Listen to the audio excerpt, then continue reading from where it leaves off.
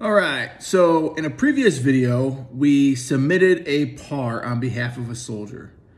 It's very similar to the process of submitting a PAR for yourself as a soldier. The difference is the available menu of what can be submitted. And again, I refer you to table 7.2 of the uh, IPPS-A user guide version 2.0 that lists all of the available PARs in IPPS-A, uh, who can submit them and sort of what they do. And that PAR, once it was submitted, went to the S1 pool. And the S1 pool is the IPPS-A inbox, if you will, uh, for all PARs and various other actions that come through IPPS-A. And so now we are currently logged in as a Battalion S1 HR Pro, and we're going to uh, review this PAR and submit a workflow to push it through completion. So if you look in the top right-hand corner here, we've got a little notification.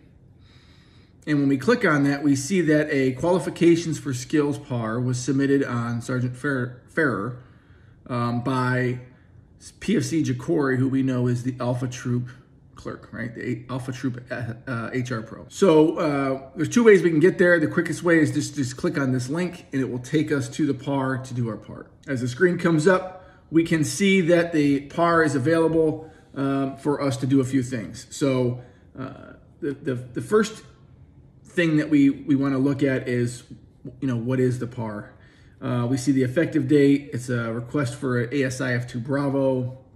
We can see that there are attachments if we click on this attachment, um, this attachment menu here, we can see that there is a, a, document. We can click on the hyperlink and see the document. We can also add another attachment as the, the S1. So if, you know, we could reach out to the company and say, hey, you forgot to attach some other file to go with this PAR. We could ask for that and they would, they could email it to us or whatever, and we could just attach it rather than kick the whole thing back.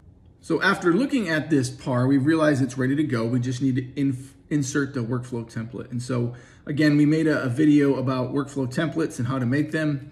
And now we're gonna see how to insert a workflow template into a PAR as an S1 HR Pro. So we'll click on the approval chain down here.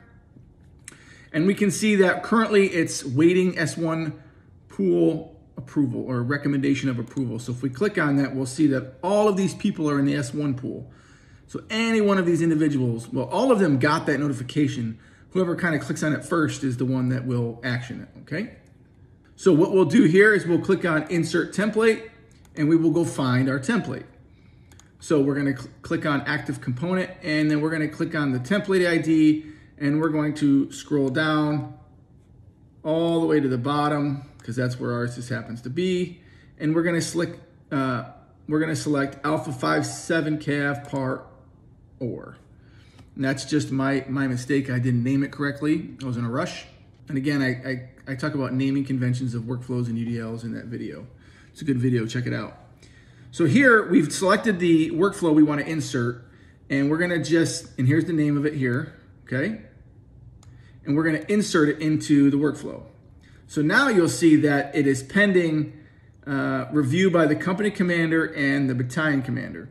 Now, This workflow is just gonna go from company commander to battalion commander, but your workflow can have first sergeant, commander, XO, sergeant major. Uh, you can insert the S1 UDL in there to sort of uh, make sure that the action has been signed off correctly and, and so on. So your workflow can be as long or short as you want it. That's gonna be based upon your unit preference and unit policy. But for this exercise, we're just gonna have it go from, uh, from commander to commander. So now that we've inserted the workflow, we're gonna go ahead and close this. And now we're ready to hit recommend approval. So we will hit recommend approval. So we'll put in some comments so that the individuals who are gonna see this know what's going on. Sir, ma'am, PAR for Sergeant Ferrer is ready for your approval requesting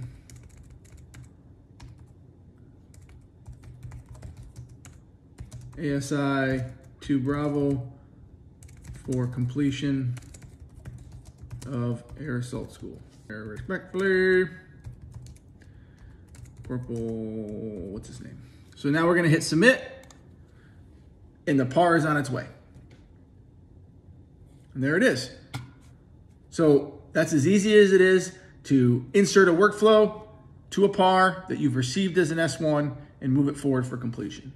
So be sure to stay tuned. We're gonna make another video here shortly about how to uh, sign off on a PAR as a commander or manager or basically anyone in the in the routing chain.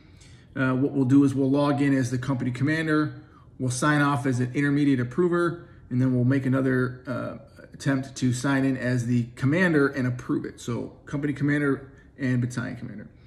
Uh, be sure to click the subscribe button. Stay tuned for more IPPS-A videos. We're on Facebook and Twitter. Follow along. Leave us some comments. Let us know how we're doing, what you think. Give us some ideas for some more IPPS-A videos from the field. We're also looking for non-HR people.